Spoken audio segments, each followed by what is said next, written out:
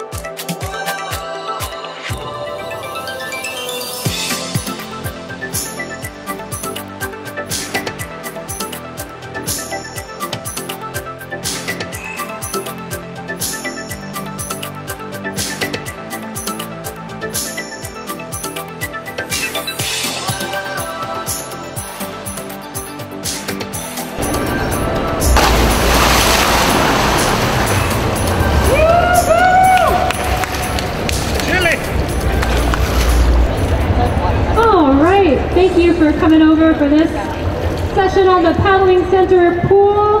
Uh, for the next session, we have Jeff Little on the water from the Little Stuff YouTube channel. And we've got Chuck Earls from Lake Erie Kayak Fishing. So they are up next to teach us a little bit about cold water kayak safety. Thanks, Hannah. How's everybody doing today?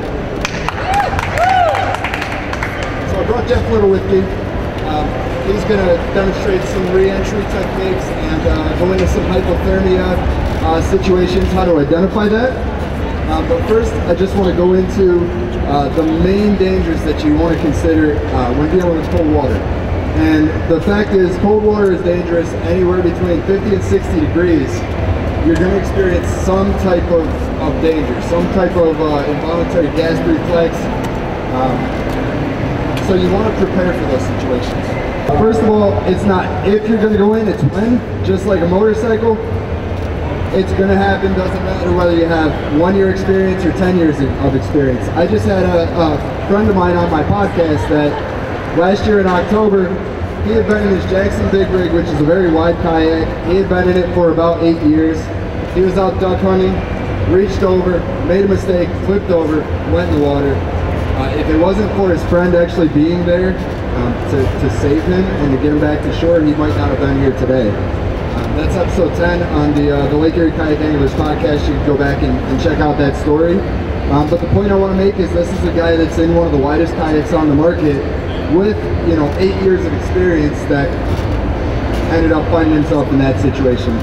Um, so first and foremost, you always want to dress for the swim.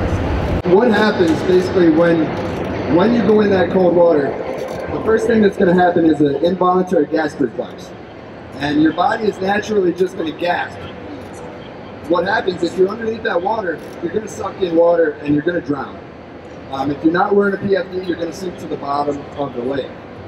So if you get past that initial gasp reflex, now you're going to go through your, your, your um, maximum intensity cold shock, which basically is two to 10 minutes of gasping for air and just hyperventilating, trying to catch your breath.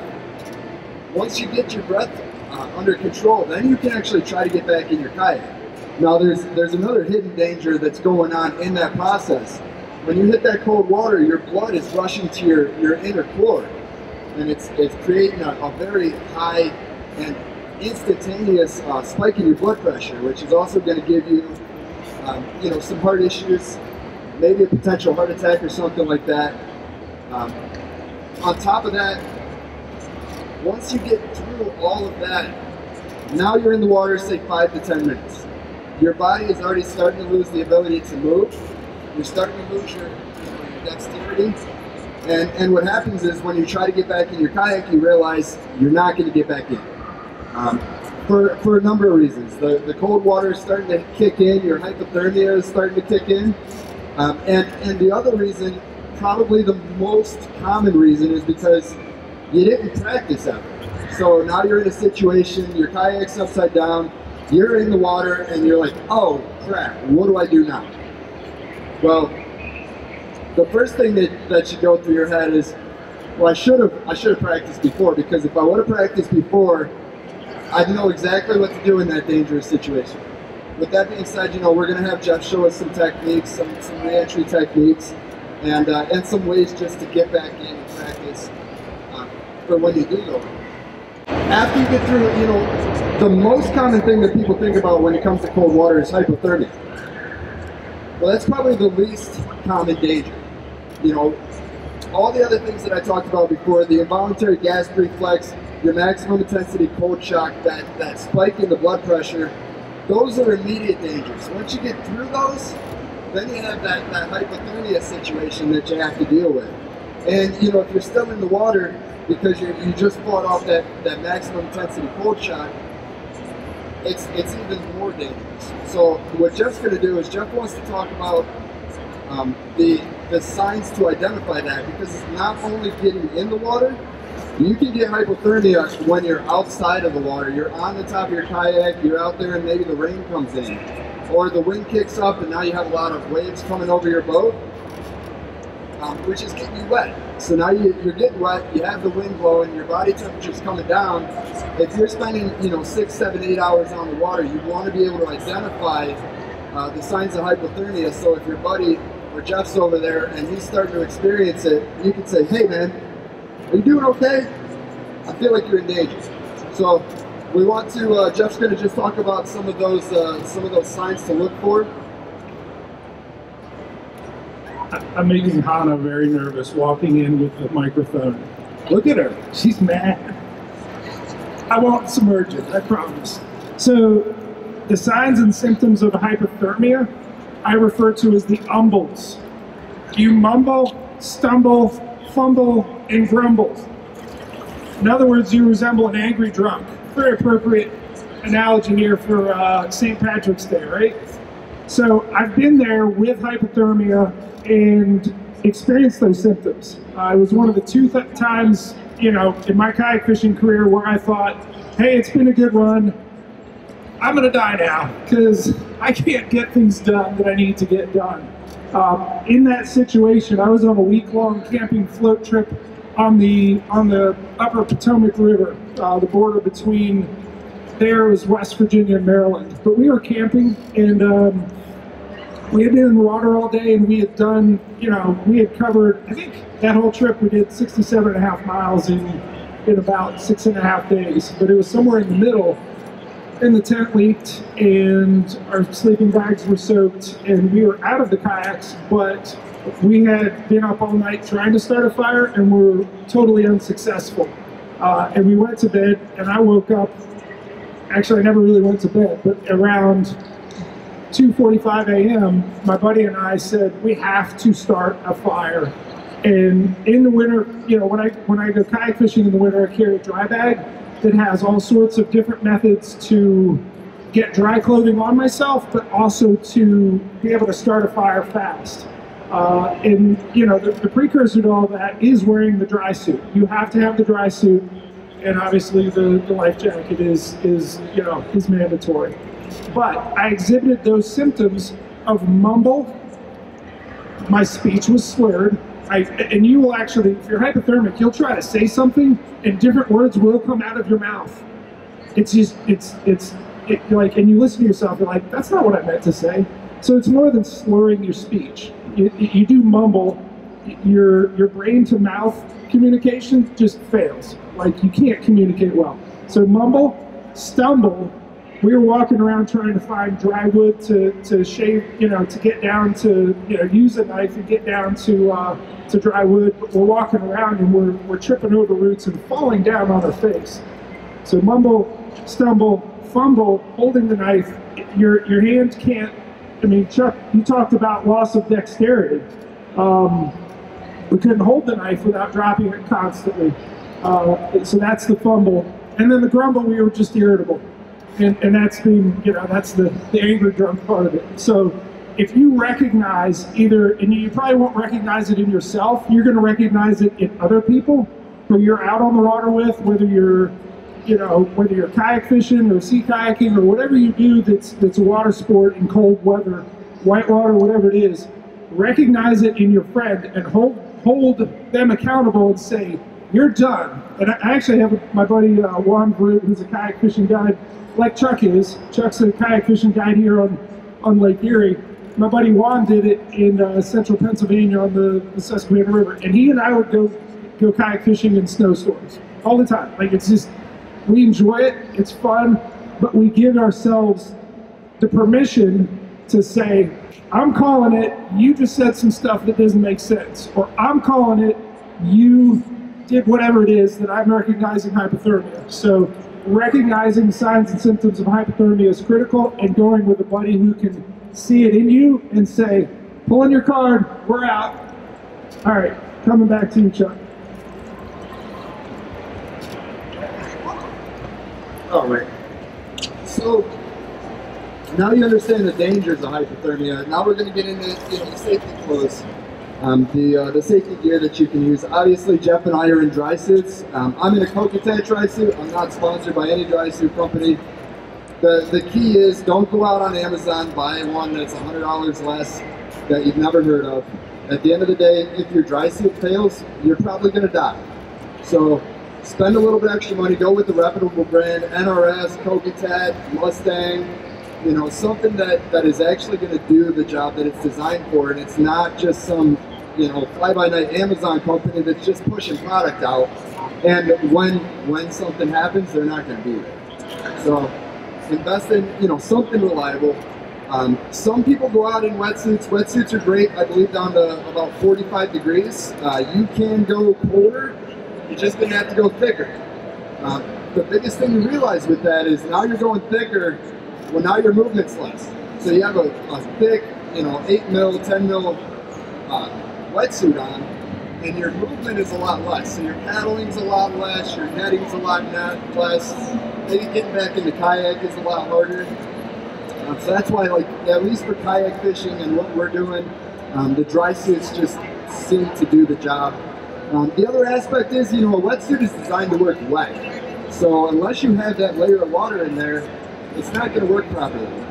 Basically what happens is the water gets inside your wetsuit and it warms up from your body. And that stops any other water from coming in. That cold water tries to come in, the hot water says, nope, we're all full in here. You know, so that's how you stay warm with a, with a wetsuit, um, aside from the, the blubber factor with the dry suit, you don't have to ever worry about that water coming in. Now, if you do, like for example, third time out, third trip out with this suit years back, I fished all day, I was out on Lake Erie for, I don't know, 10, 10 hours or so, got out of my kayak, started walking, and boom, there went a treble hook, right through my brand new dry suit. So I'm like, well, I did the right thing. I just put a hole in my dry suit, which is going to let water in, right? So it was at the end of the trip. I went home. I used uh, Aqua Seal, sealed it up, took care of that problem, and I was ready to go. Uh, with that being said, something like that is something that you should carry, like Aqua Seal or like like Gear aid Type A, I believe it is.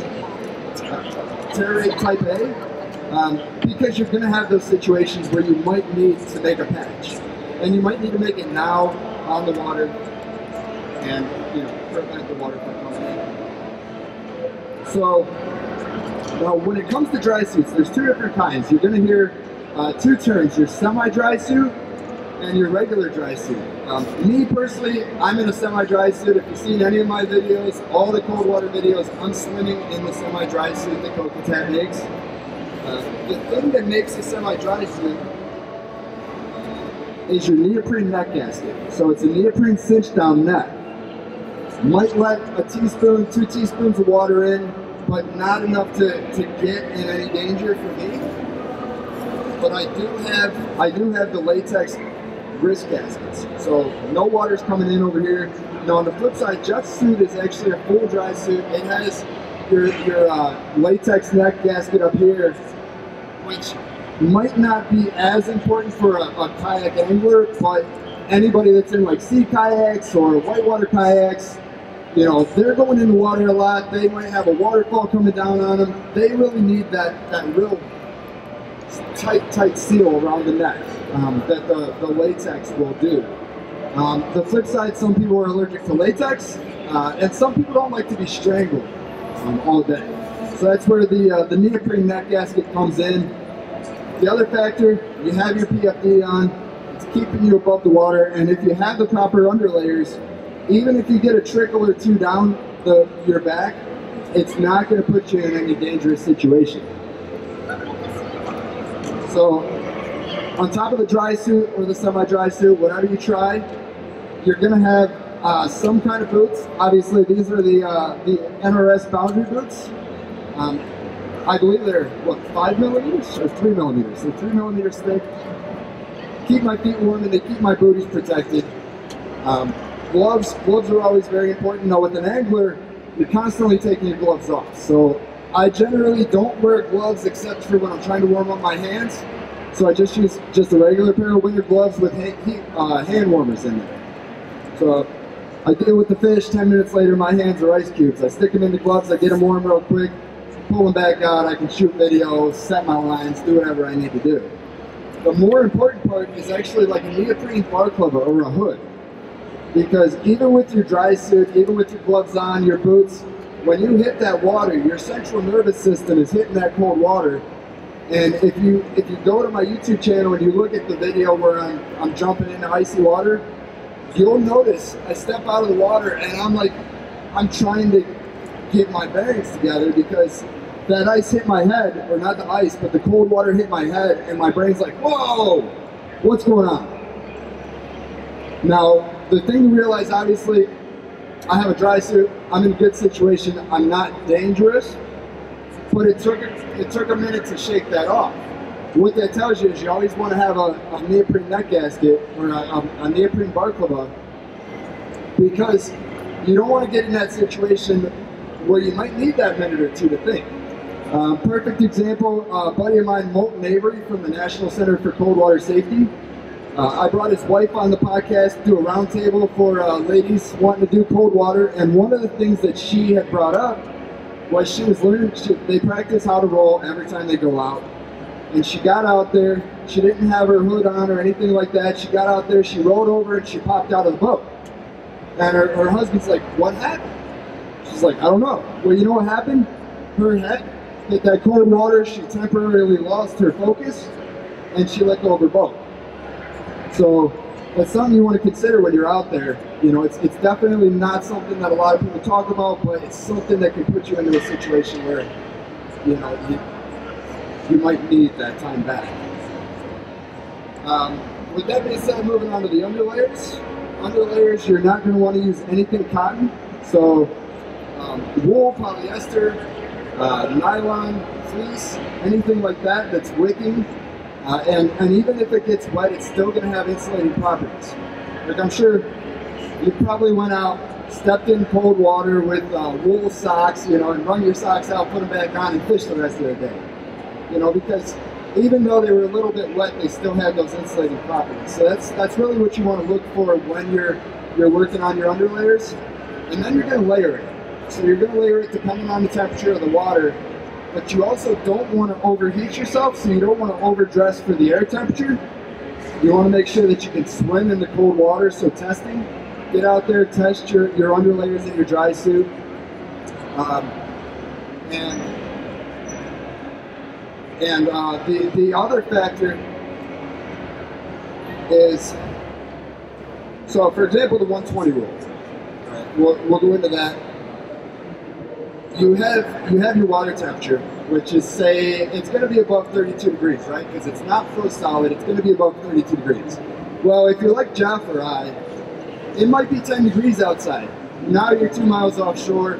Well, the wind's blowing 20 miles an hour, so you're prepared for swimming, you're not prepared for the cold water that's coming at you. You know, so a lot of people say, oh, the 120 rule is what you want to do. The air temperature plus the water temperature equals 120, then you don't need any safety gear. That's absolutely false. Throw that rule out the window. You want to factor the cold water temperature totally separate from the warm water, the, the um, air temperature, the cold air temperature. So I test with, with my underlayers. I know that I can survive the cold temperatures of the water um, at that temperature.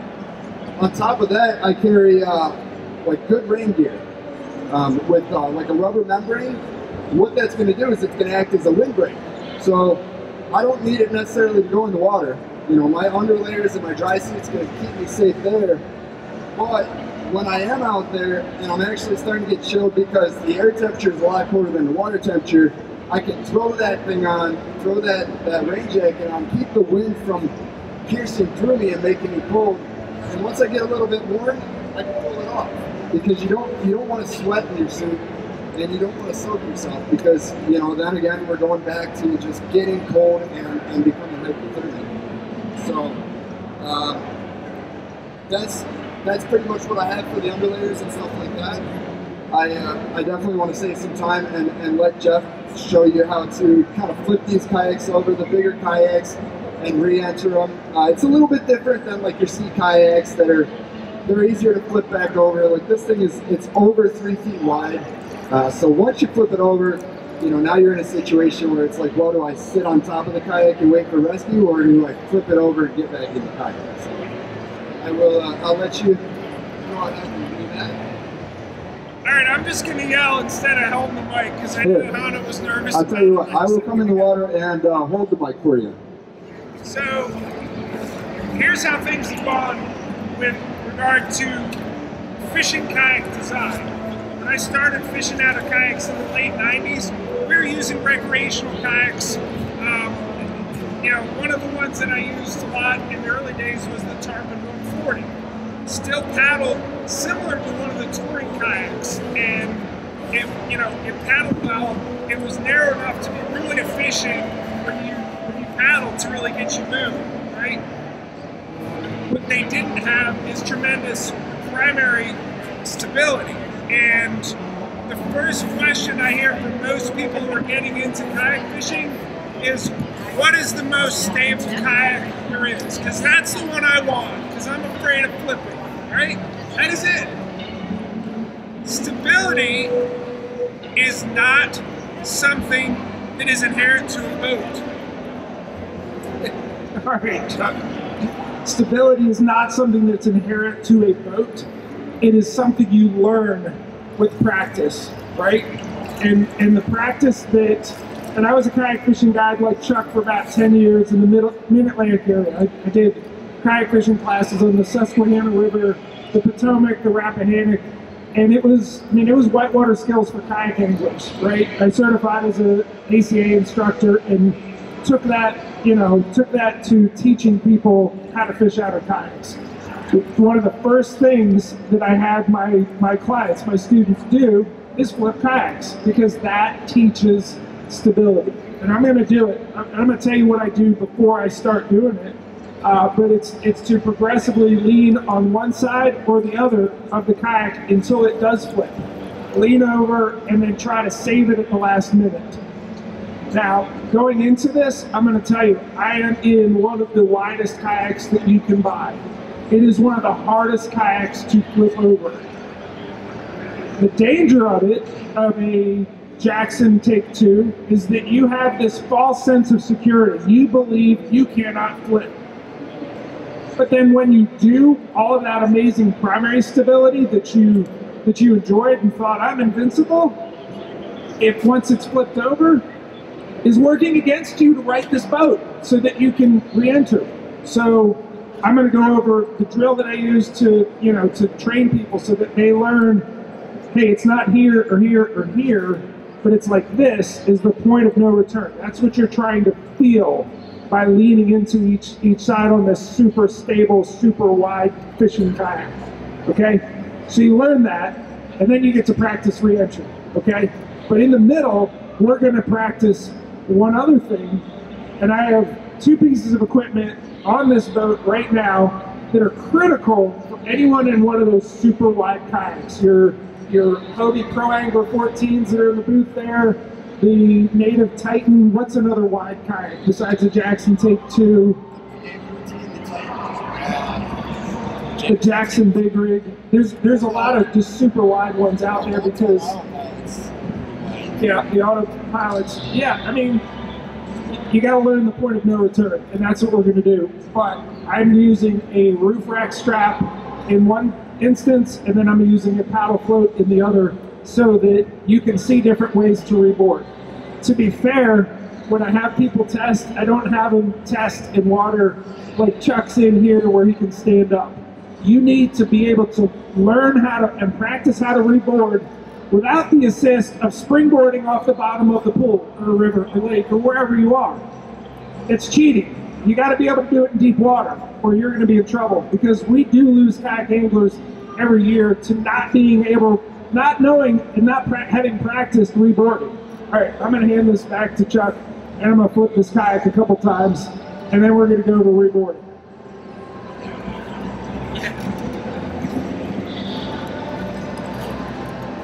All right, like Jeff said, the, the most important thing is to identify the stopping point on the kayak. Because once you identify the point of no return, you subconsciously put it in your head, you know, okay, if I go past this point, I'm going in.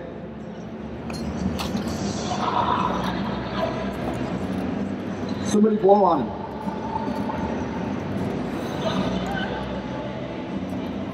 I have to pull it over. What do you think? It's got. See what what happens is you you develop a natural balance in the kayak where your body subconsciously it's like oh oh nope you're not gonna go past that point.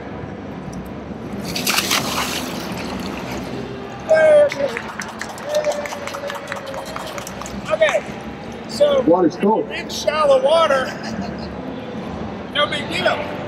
Well, it sort of is, but you can springboard off the bottom this. I will tell you, it's never that easy when you have a Yak Attack Black Pack, the torpedo motor, all these rod holders, transducer hanging off the side. I took a lot of stuff off here in order to do this, and I still got gear hanging, right? You have a lot of resistance working against you. So, the trick I'm going to teach next, I got to get this back over to do it, is involves what I have back here. I'll pull it out, but it's a simple Yak Attack tie-down strap, right? So let me get this back over. All right, so I'm in deep water and I can't reach over and I'm not even gonna be this high. So what I'm gonna do is I'm gonna reach under there and I have to find my seat. On the back of my seat is a roof rack strap. I gotta find the end of it first. It's gonna take me. Now if you have a pedal driven kayak, you see where he has that, that black cover there. Generally, unless it's a Hobie or a flipper style, you'll have a skeg sticking down. Uh, the cool thing about the pedal driven kayak, you don't have to worry about the strap. If you have the skeg sticking sticking up, you grab the skeg, use your body weight, lean down, and it'll help you flip over the kayak. Um, you can also use a strap like the way that Jeff's going to show you. Uh, depending on how agile you are, you might not be able to reach up and actually get onto the top of that skeg. But it's good to know all the different options, the, all the different ways. Uh, just so you know, you get yourself in a situation and something doesn't work that you thought would have, you kind of have something to fall back on. Talk about the longer I'm in here, the more I'm getting cold and my dexterity is being. Yeah, the uh, the longer that uh, that you're in the pool, obviously I didn't put any underlayers on. Um, water's a little bit cold. The the longer that you're in this water, surrounded by this water, the faster that your body temperature is actually dropping. So if, even with the dry suit, if you don't have the proper underlayers, you're gonna get cold fairly quick. Um, and that's that's why you want to get in and, and actually do the testing So uh, what I'm doing, gear and your underlayers. I'm gonna take this and attach it to something along a rail on this side, and then I'll flop it, the strap over it. So basically, what he's going to do there's uh, there's grab handles on the sides of these kayaks. He's just going to put that strap on the one side of the grab handle, throw it over the top of the hole, and then he's going to come on this opposite side, grab that strap, and basically do the same thing like I was talking about with the keel. Use his body weight to pull that kayak back over. So you might be thinking, why don't you just flip it over like you did a second ago with your hands? If I wasn't in shallow water, I could do it. if you're in deep water, you're not going to be able to lift the kayak over. You just you, you don't have anything to push against, and the kayak it basically uh, creates like a suction, kind of like if you ever flipped over a canoe. try to sink a canoe and then pull it out of the water. All right. I got the strap here. I'm gonna even it up a little. Throw it across there.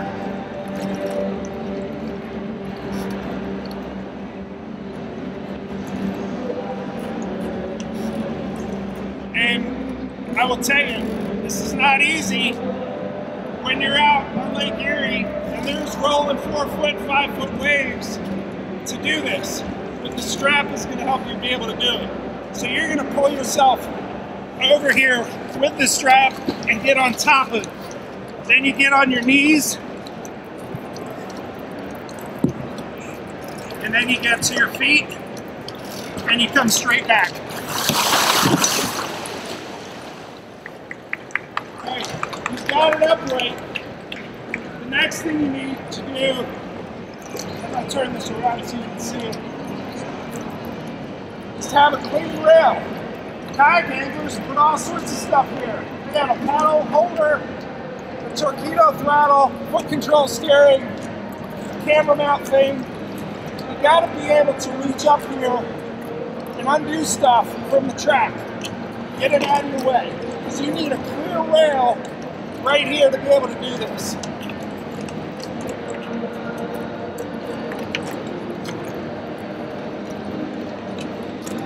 Uh, the other thing that I wanted to point out was generally uh, before you launch, you'll go ahead and position your strap on your side rail. That way it's already set, just in case you need it. You already know it's somewhere underneath your seat. All you gotta do is reach down and uh, and grab it and flip back over. Um, again, like I said, it's not if you go in, it's when. So the uh, the object is always be prepared for it. Okay. At the risk of not being politically correct. Hey, fat boy! Kayak angler with a big old belly on you. This is not going to be so easy. When you have a gut, it is a barrier to what you need to do to get back up on you. When you have to pull yourself up and you have this mountain in your abdomen preventing you from doing it, it's not so easy. So the thing that's going to help you launch back in there is that you're going to kick like crazy. You're going to come up here, grab a hold of something firm. I got the seat, and at the same time, I'm going to pull and kick until I get my belly over. Then you're just turning over. At that point, you can sort of recalibrate where you are, get back on the seat, and now you're in a position where you've reboarded, but you're only going to do it adeptly in bad situations where you're out on Erie or wherever you are and it's rough. If you practice this, you have to practice reboarding. That's it. That's all I got. Yeah, there's uh, there's a couple other things that you can use to reboard. Uh, there's paddle floats um, that you can actually take and uh, and blow up. Um, there are a couple of uh, like rescue ladders that, uh, that that are on the market. Um, there's simple ones that you can make with PVC. Basically, just just a PVC piece sealed off so it floats on a rope. That way, you know, especially if your upper body strength isn't the strongest, you're going to want to use your legs to kind of push yourself onto the kayak as you're pulling. So you can use a, a rescue ladder, um, or, or just basically a floating piece of PVC on a rope to use as a stirrup, get your foot in and push yourself onto the kayak. And uh, Jeff, that's the paddle float there. Um, now that, for me personally, the downside of the paddle float is you better not need to get back in quick because you gotta take the time to put it on and, and blow it up. They do make some that are blown up, um, but you might want to think a little bit differently if you're in cold water. Maybe go with the one that's already inflated.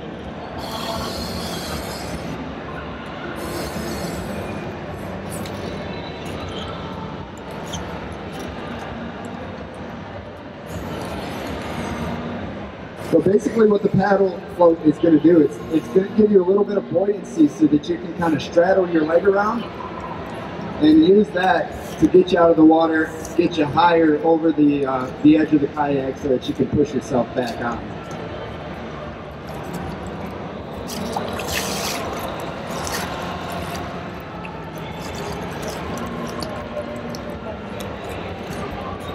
So you're back in this position where you're going to have trouble getting back up here. The way that you use this is you brace it somewhere. Better that you gotta just figure it out. Stick it under uh, that you can that, that'll just secure it and keep it from moving for you. Your leg over here, which gives you another leverage advantage to you're waiting over and then get back on it.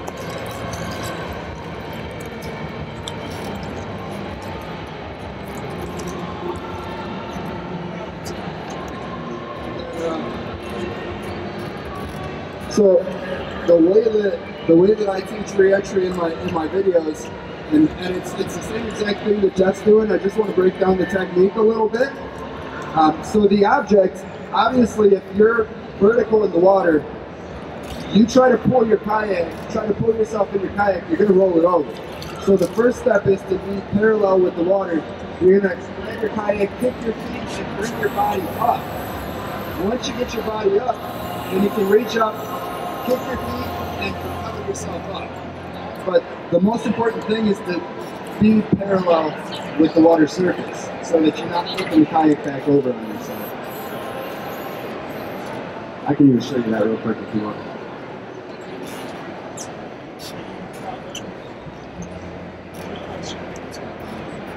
Um, what, what, uh, do you guys have any questions on anything? Come on, folks, Q&A session. What do you need to know? You got a kayak Are you gonna make me buddy. come over to you? I'll put the microphone in everybody's face.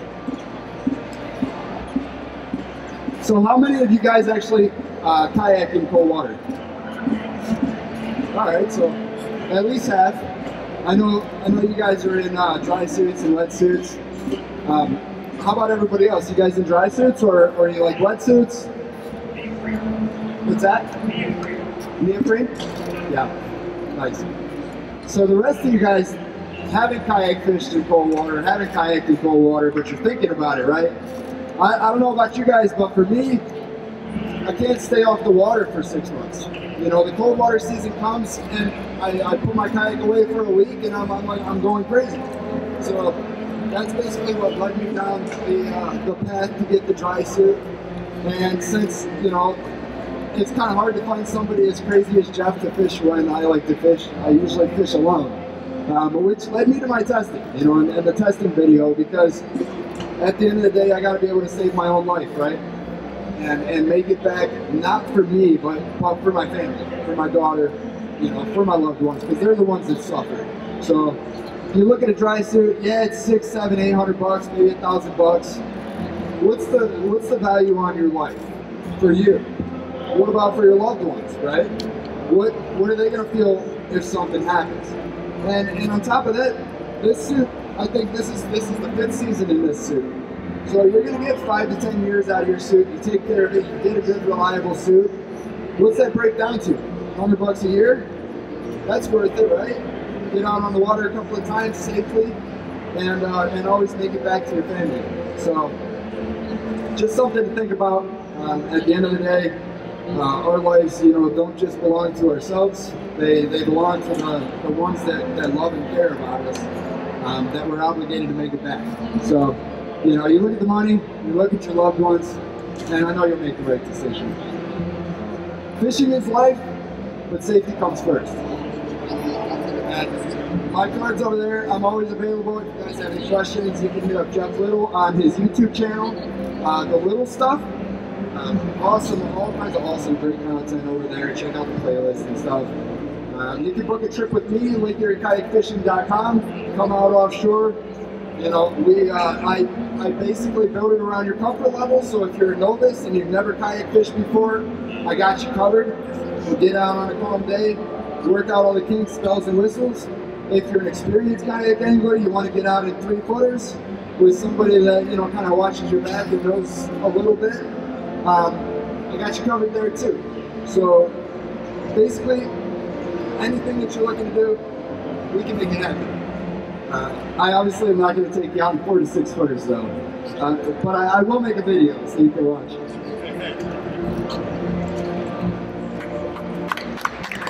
Thanks, guys. And don't go anywhere. Um, well, you can take a lap if you want to, but at 5 o'clock, at 5 o'clock we'll have the Metro Parks coming back, or 6 o'clock now. 6 o'clock, Metro Parks are coming back. We're going to have two sub sessions back to back, so if you're interested in stand-up paddleboard, um, they will be here doing a rescue rodeo as well as going over some beginner to advanced paddling techniques. So come on back at 6 o'clock and we'll have some more.